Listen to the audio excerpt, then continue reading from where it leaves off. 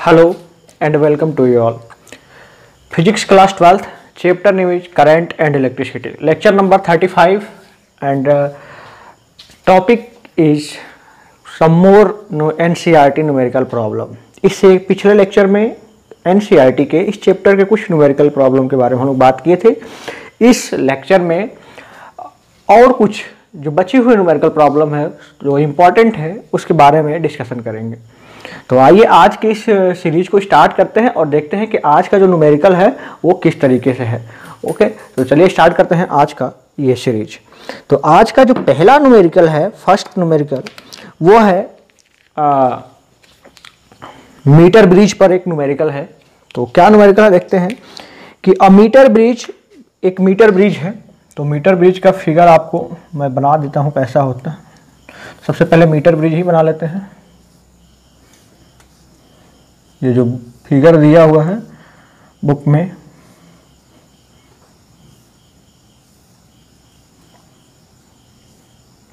Like that यह है metre bridge यहाँ पर एक वायर कनेक्ट होता है, ये वायर है ए बी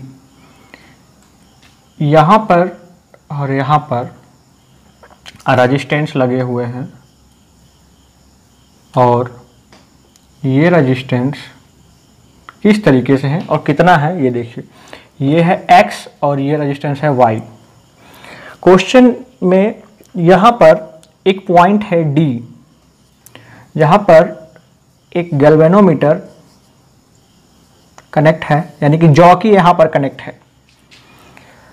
अब क्वेश्चन को देखिए क्या कह रहा है कि the balance point is found to be यानी कि ये जो बैलेंस पॉइंट है found to be 39.5 centimetre 39.5 centimetre from the end of point A यहाँ से यहाँ तक यानी कि ये जो एल दिया है इस एल की ये बात कर रहा है तो ये हो गया एल आगे बढ़ते हैं। When the resistance of Y is two found ये जो वाई रेजिस्टेंस है ये दिया हुआ है कि 12.5 12.5 ohm determine the resistance of X ये जो यहाँ इसका जो रजिस्टेंस होगा, कितना होगा? अननोन रेजिस्टेंस वही एक्स रेजिस्टेंस हमें बताना है। क्वेश्चन बहुत ही सिंपल है।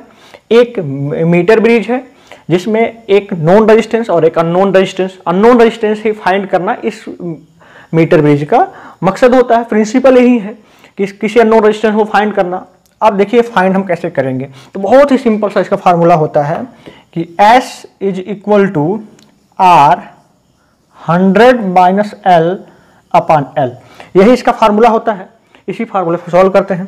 लेकिन यहाँ पर ध्यान दीजिएगा आर ये होता है और एस ये होता है। तब हम जब कॉन्सेप्ट पढ़े थे तो ये सब सीखे थे। हमें यहाँ पर आर फाइंड करना है, ना कि एस फाइंड करना है। तो यानी कि जो एस है, वो दिया है 12.5 आर नहीं पता है। 100 माइनस एल पता है। 39.5 होल अपान 39.5 यहाँ से हम R कैलकुलेट कर लेंगे तो R इक्वल टू क्या हो जाएगा? 12.5 point five into thirty nine point five whole upon hundred minus thirty nine point five अब ये देखिए कितना हो गया। ये हो गया 12.5 point five into thirty nine point five whole upon hundred minus thirty nine point five अब 100 में से 39.5 माइनस करेंगे कितना आएगा 60.5 60.5 आ जाएगा। क्यों 60.5 आएगा? क्योंकि ये लगभग 40 है तो 40 में से अगर 100 में से 40 माइनस करेंगे तो 60 आएगा। अब देखिए, ये कैसे कैंसिल होगा? तो इसको हमें सॉल्व करना होगा। तो इजिली हम इसको सॉल्व कर सकते हैं कि इसको हम 12.5 पॉइंट इसको हम 40 बोल दें और इसको हम 60 बोल दें। थोड़ा सा हमारे लिए कैलकुलेशन ईजी हो जाएगा। तो ये six two point one into four four six. तो ये आ जाएगा approx six, twelve, two eight eight point four eight point four. ये ऐसे अप्रॉक्स करने पर 8.4 पॉइंट ओम आ रहा है, जबकि इसका रियल आंसर जो है, वो 8.1 ओम है। तो मैंने अप्रॉक्स कर दिया, आप इसको एग्जेक्ट करेंगे तो इतना आएगा। तो यहाँ से इस तरीके से, बहुत ही सिंपल तरीके से इसे हम सॉल्व कर सकते हैं। अब इसका जो अगला पोर्शन है, इस क्वेश्चन का, इसी क्वेश्चन में वो पूछा जा रहा है कि इसका नेक्स्ट पार्ट है। Determine the balance point of the bridge above the above if X and Y are interchange question है अगला कि अगर x और y को इंटरचेंज कर दिया जाए, यानी कि ये वाला रेजिस्टेंस यहाँ कनेक्ट कर दिया जाए और ये वाला यहाँ कनेक्ट कर दिया जाए तो बैलेंस पॉइंट कहाँ होगा? अब समझिए क्वेश्चन क्या है। हमें ये पता चल चुका है कि यहाँ पर 8.1 ओम का रेजिस्टेंस लगा है। 8.16 आएगा 8.16 ओम का रेजिस्टेंस लगा। अब इंटरचेंज करेंगे, यानी कि सर्किट अब कुछ इस तरीके से हो जाएगा। कि जो यहाँ पर रेजिस्टेंस लगा है, ऐसे ये रेजिस्टेंस हो जाएगा 12.5 ओम, और जो यहाँ पर रेजिस्टेंस लगा है, वो हो जाएगा 8.16 ओम। अब ये हमारा इस तरीके से ये सर्किट बन गया। अब इस सर्किट में पूछा जा रहा है कि वो बैलेंस पॉइंट कहाँ होगा? यानी कि क्या पूछ रहे हैं हम? एल पूछ रहे हैं आपसे। तो इसका कैसे फार्मूला, वही फार्मूला फिर से अप्लाई करेंगे कि S equal to R hundred minus L upon L R ये हो जाएगा एस ये, और ये एल हो जाएगा। एल को फाइंड करना है तो इस एस को रिप्लेस कर दीजिए तो आर बाई एस हो जाएगा इंटू हंड्रेड माइनस एल इस टर्म को डिनामीटर में ले लेंगे। देखिए, इसकी वैल्यू हम थोड़ा सा पुट करते हैं और आगे इसको बढ़ते हैं। देखिए क्या होगा इसका। जब इंटरचेंज होगा तो एल कहाँ आएगा? तो ये हो जाएगा कि इसको हम क्रॉस प्रोडक्ट ही कर देते हैं सीधा सीधा तो S into L which is equal to R hundred minus L यही होगा। तो ये हो जाएगा S into L is equal to R यानी कि hundred R hundred R minus R into L इस टर्म को इधर लाएँगे।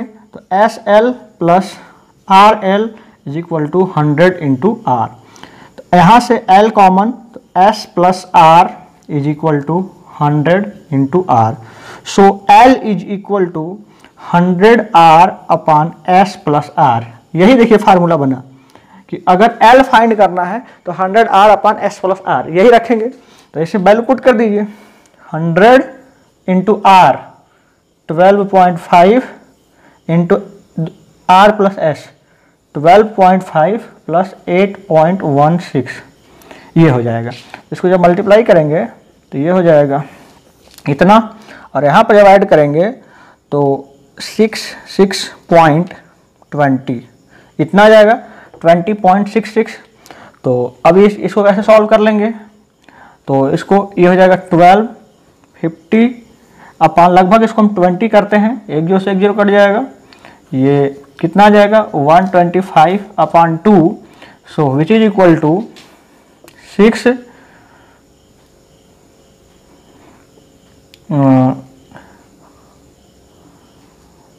two point five ये इतना आ रहा है अप्रॉक्सीमेट लेकिन जो इसका रियल आंसर होगा एल का जो रियल आंसर होगा, वो होगा sixty point four sixty point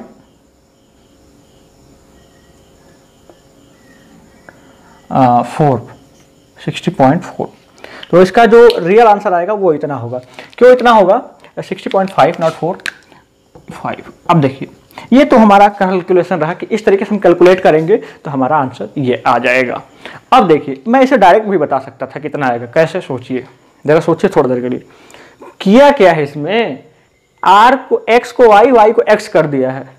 अब जब आप कभी इसका प्रैक्टिकल करेंगे तो आपको क्लियर हो जाएगा, ज़्यादा क्लियर होगा नंबर जब हम इसको यहाँ कनेक्ट किए थे और इसको यहाँ पर कनेक्ट किए थे और जॉकी को ले जा रहे थे तो वो ए से 39.5 पे आ रहा था।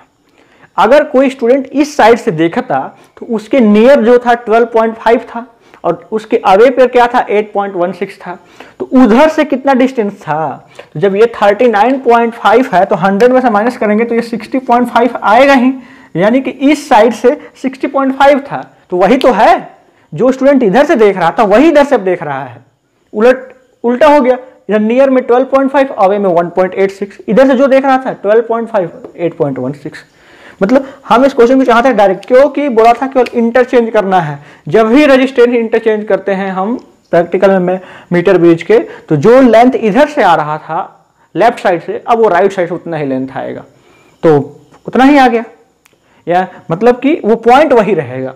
इसका कैलकुलेशन ये निकला कि कैलकुलेशन यहाँ पर आया कि अगर हम रेजिस्टेंस को इंटरचेंज करेंगे तो जो उसका बैलेंस पॉइंट है वो चेंज नहीं होगा। डर नॉट चेंज ओके अब देखिए।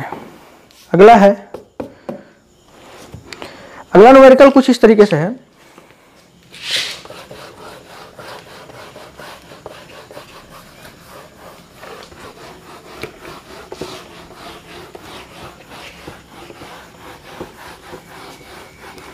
नेक्स्ट नेक्स्ट क्वेश्चन है 3.11 पिछला क्वेश्चन 3.10 था, अब 3.11 क्वेश्चन ये है कि अब अब storage battery of EMF 8 volt एक बैटरी है जिसका ईएमएफ 8 बोल्ट है।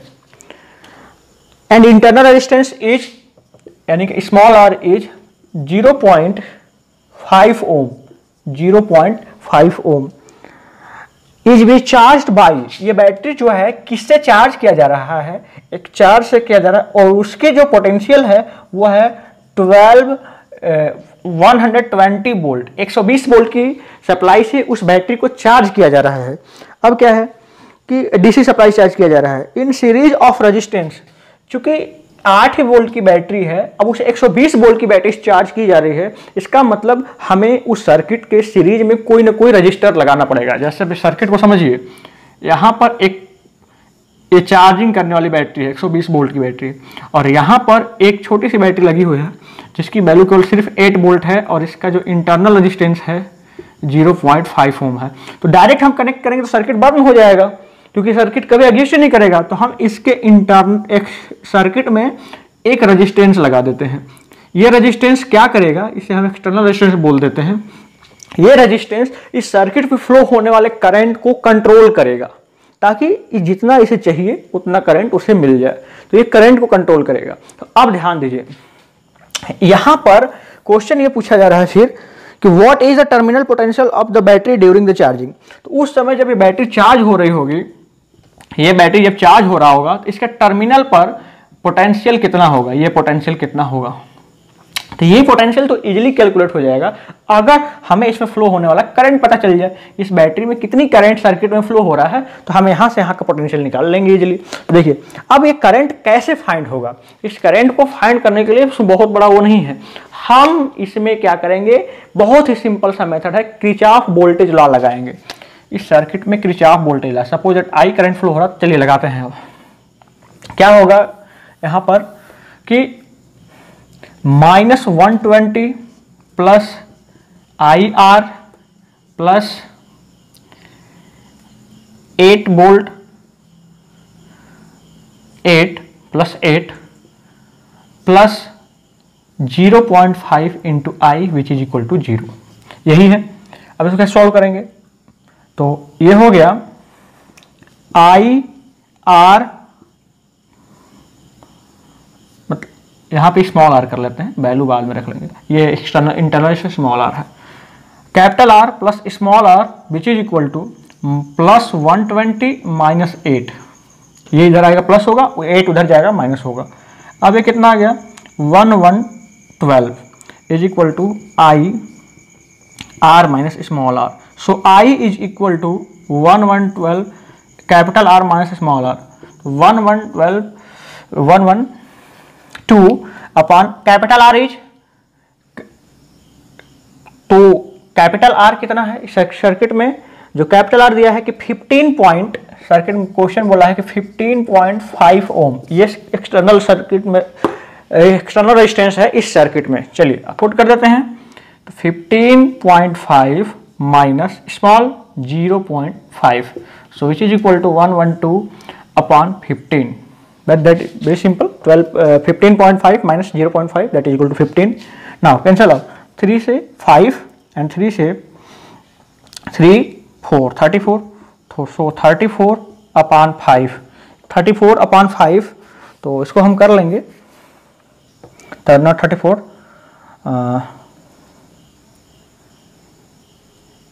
यस तो नियर अबाउट ये सेवन आएगा। और थर्टी फाइव होता तो फाइव से कैंसिल कर थर्टी फाइव लगभग ये सेवन ओम आएगा। एम्पियर आएगा। तो लगभग इस सर्किट में सेवन एम्पियर करंट फ्लो हो रहा है। अब इस सर्किट में आपको पता चल गया कि सात एम्पियर करंट फ्लो हो रहा है। तो अब यहाँ से यहाँ तक का पोटेंशियल निकालना है तो वहाँ भी वही काम करेंगे। देखिए, ये तो प्लस एट बोल्ट आपको पोटेंशियल दिख ही रहा है। यहाँ पर पोटेंशियल कितना हो जाएगा? इधर से करंट फ्लो हो रहा था प्लस यहाँ पर कितना पोटेंशियल हो जाएगा? Seven into zero point five देखिए seven into zero point five क्योंकि ज़ीरो पॉइंट फाइव रजिस्टेंस है करंट क्या होगा? वी प्लस आई आर यही तो होगा, यहाँ का जो E M F equal to अब देखिए तो क्या हो जाएगा ये? ये कितना आ जाएगा? इसको हम कैलकुलेट कर लेते हैं तो ये हो जाएगा आपका eight plus seven three point five होगा सेवन का हाफ़ तो एट कितना हो गया ये? Eleven point five eleven point five volt यानी कि यहाँ पर हमें ये समझ में आया कि जो बैटरी चार्ज हो रही है, उसके टर्मिनल पर 11.5 वोल्ट ही पहुँच रहा है। एट क्लियर ड्यूरिंग चार्ज तो कितना सिंपल सा क्वेश्चन था। हम लोग चार्जिंग घर में अक्सर करके बैटरी सोचते हैं कि क्या बड़े, बड़ा सा इन्वर्टर लगा है उस इन्वर्टर से एक छोटी सी बैटरी चार्ज हो सकती है कि नहीं हो सकती है? हो सकता है। कब? उसमें एक सना रेजिस्टेंस लगा दीजिए, क्योंकि वो बारह बोल्ट की अगर बैटरी, जैसे यहाँ पर देखें हम लोग एट बोल्ट की बैटरी थी, अगर उसका ई एम एट वोल्ट था तो उसके टर्मिनल पर 11.5 बोल्ट ही होना चाहिए। इससे ज़्यादा होगा तो सर्किट बर्न कर जाएगा। इट क्लियर इसको आप समझिए बहुत ही इंपॉर्टेंट क्वेश्चन है। इसके बाद अगले क्वेश्चन की तरफ़ बढ़ते हैं। अगला क्वेश्चन क्या है? तो हम जो नेक्स्ट क्वेश्चन है, वो भी बहुत इंपॉर्टेंट है और वो कुछ बेसिक टर्म से है। क्या बेसिक टर्म है? कि the number of density of free electron in a copper conductor is एक कॉपर कंडक्टर है जिसमें इलेक्ट्रॉन की नंबर ऑफ़ डेंसिटी यानी कि एन कितना है? एन है 8.5 point five into ten to the power twenty eight eight point five into ten to the power twenty eight meter cube ये है।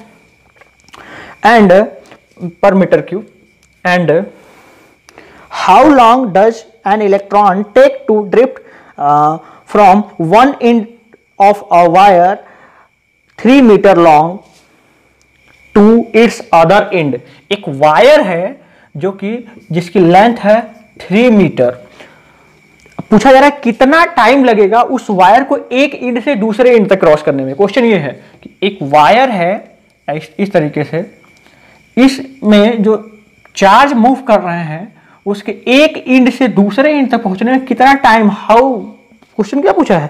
कि how long does an an to take to drift तो यहाँ पर यानी कि हमें टाइम पूछा जा रहा है।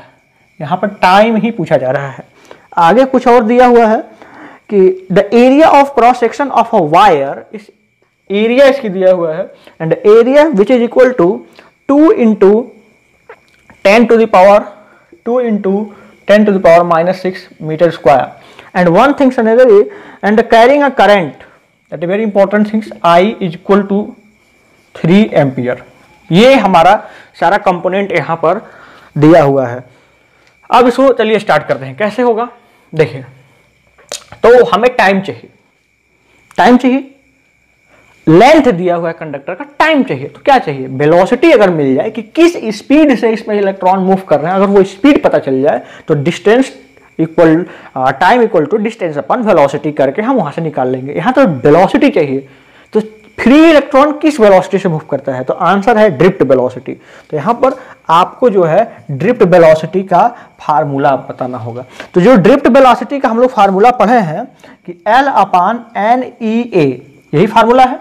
कि L upon N L V D equal to L upon L upon N E A अब देखिए, ये हमारा यहाँ से, ये हमारा कॉन्सेप्ट है। तो अब हम लोग इसमें क्या करेंगे? सब कुछ पुट कर देंगे। एल कितना है? Three N eight point five into ten to the power twenty eight and one point six into ten to the power minus nineteen and A two into ten power minus six ये हमारा है यहाँ से कि पूरा आपका drift velocity अब इस ड्रिफ्ट वेलोसिटी सॉल्व कर लेते हैं। Three upon eight point five into one point six into two into ten to the power twenty eight minus nineteen minus six minus 19 minus 6 minus 25 and minus 25 plus 28 plus 3 10 to the power 3 right? Now 3 upon 8.5 into 1.6 into 2 3.2 now and uh, power is 10 to the power minus 3 okay. So this that term is equal to 3 upon uh, 8.5 into three point two ten to minus three इसको हम इसी format में रहने देते हैं। यही इतना ही रहने देते हैं। अब हमें इसको पूरी फुली कैलकुलेट नहीं करना है। अब हमें क्या निकालना है? टाइम तो टाइम इक्वल टू क्या होगा? लेंथ अपॉन यानी डिस्टेंस अपॉन वेलोसिटी देखिए लेंथ तो मिल गया कि थ्री यहाँ पर थ्री मीटर है। यहाँ पर थ्री मीटर है। देखिए, यहाँ पर आई होता है आई थ्री होगा, ये आई थ्री होगा। यहाँ पर लेंथ होगा तो थ्री अपॉन ड्रिफ्ट वेलोसिटी कितना है? Drift velocity is three upon 8.5 into three point two into ten to the power minus three इसे जब हम कैलकुलेट कर लेंगे तो ये थ्री से थ्री कैंसिल हो जाएगा। Eight point five into three point two ten to the power plus three ये आ जाएगा। अब इसको सॉल्व कर लीजिए। जो प्रोडक्ट में आएगा, यही आपका टाइम होगा। कि कितना आएगा? हम आंसर इसको फाइनली बता देते हैं। ये आंसर आएगा सेवन पॉइंट फाइव 7.57 हावर इतना टाइम लगेगा। इतने टाइम में ये जो चार फ्री इलेक्ट्रॉन्स हैं, एक तरफ़ से दूसरी तरफ़ चले जाएँगे। ठीक है? तो इस तरीके से ये क्वेश्चन हो गया। अब इसको अगला। अगला नेक्स्ट हमारा जो एक क्वेश्चन है, बहुत ही इंपॉर्टेंट है आप सब लोग के लिए। तो इस क्वेश्चन को समझिए, इसमें कुछ नहीं किया गया है। देखिए, फिर से एक बार रिमाइंड कराते हैं। सब कुछ, जो कुछ एन एल आई ए सब दिया है टी पूछ रहा है। तो हम यहाँ से वी डी निकाल दिए और वी डी को T equal to L upon V D put कर दिए तो टी निकल गया। बहुत ही सिंपल सा क्वेश्चन है। नेक्स्ट नेक्स्ट क्वेश्चन कुछ इस तरीके से है। एक सर्किट है और सर्किट को एनालिसिस करना है। देखिए सर्किट बहुत ही कॉम्प्लिकेटेड है। मैं बनाता हूँ सर्किट कैसे है। Like one one one and and so on like that.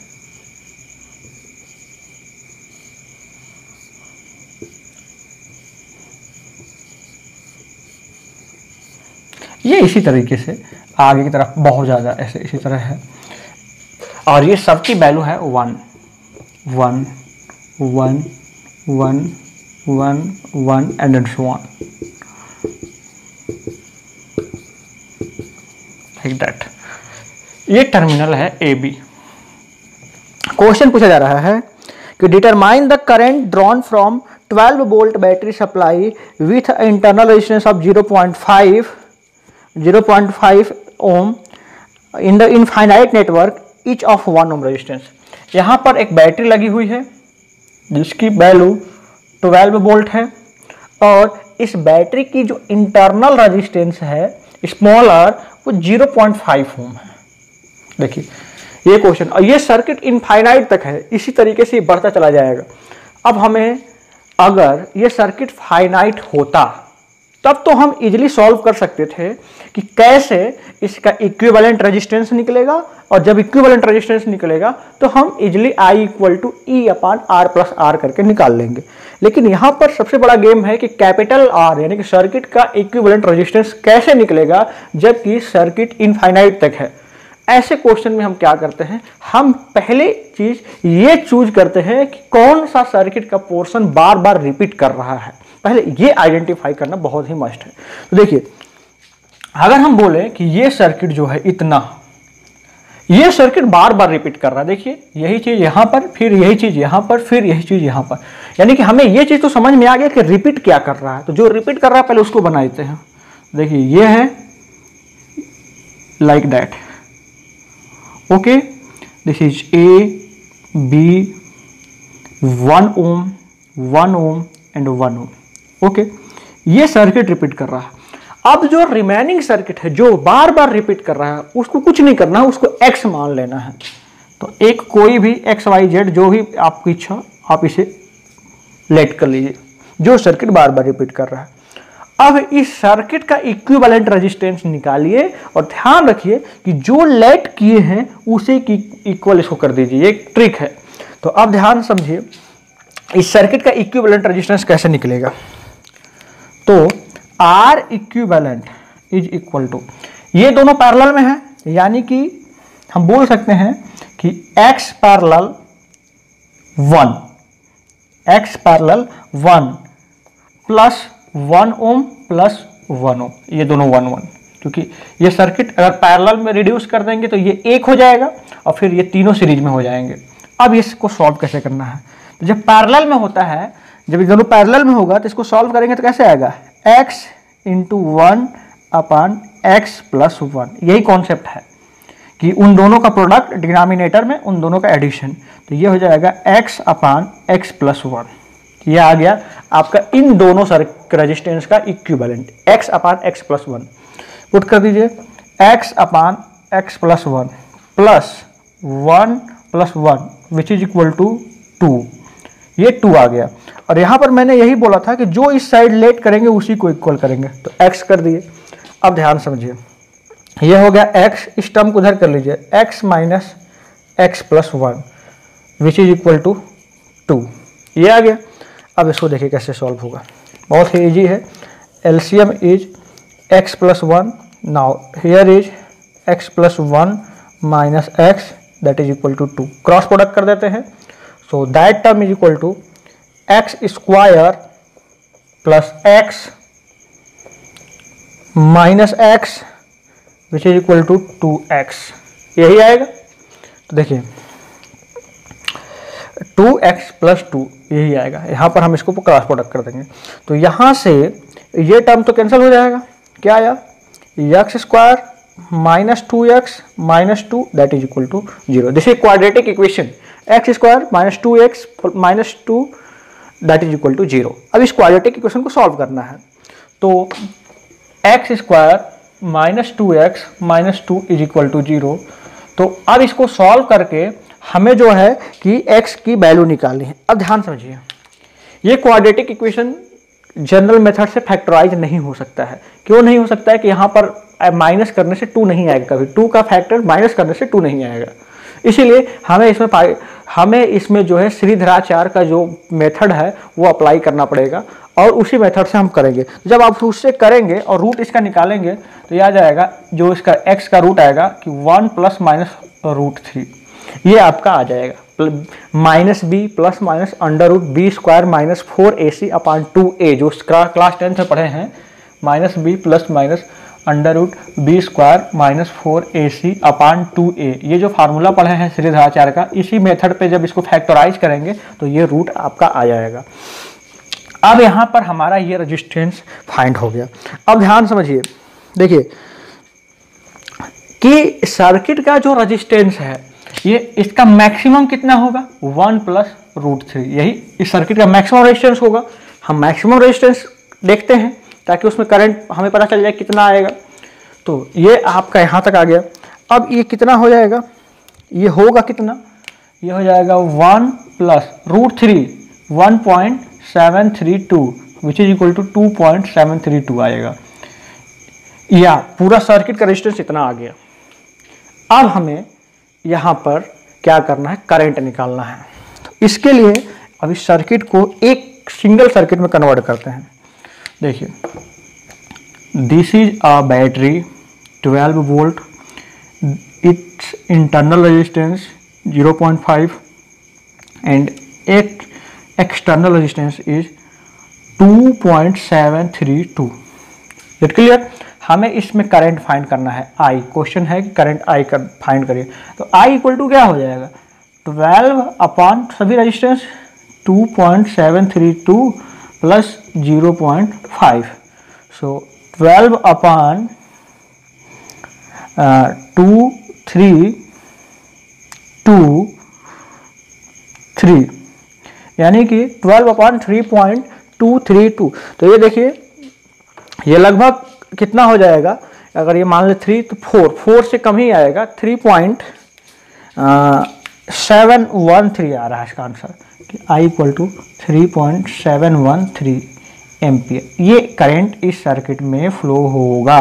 That's your answer ये आपका आंसर है। इस सर्किट में हम लोगों ने क्या किया? देखिए जरा ध्यान से। इस सर्किट में बहुत कुछ नहीं किया। हमने सर्किट का इक्विवेलेंट रेजिस्टेंस निकाला, एक सर्किट बनाया और उसमें सभी रेजिस्टेंस को इंटरनल और एक्सटर्नल को रखा और सिंपली सा आई निकाल दिए।